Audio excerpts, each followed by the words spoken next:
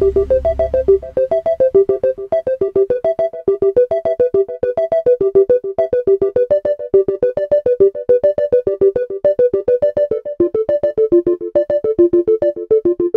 Julia Holter, I think I found the muse of electronica.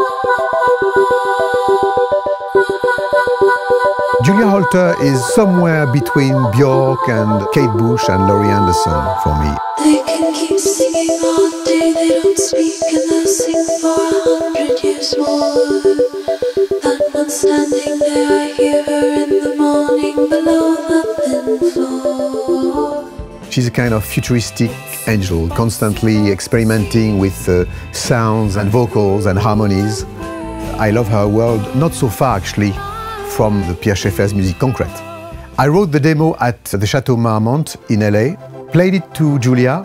We met up um, in Los Angeles and he showed me some recordings that he had made.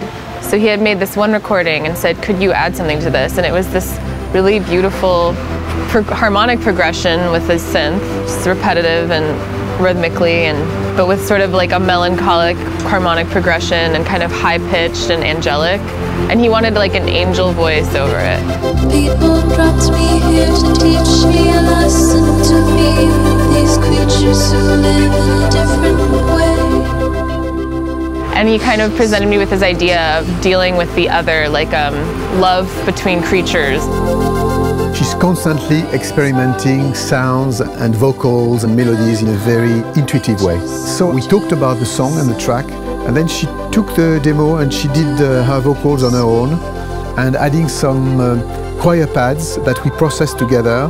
And then we succeeded, I think, to create with this track something very ethereal and like actually some strange creatures coming from uh, another planet or coming from the other side of this wall talking or singing to us.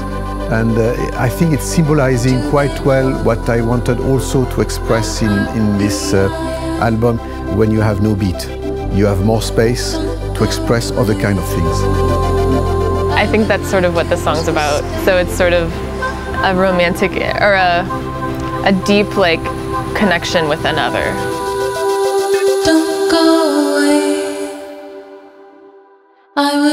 You to stay.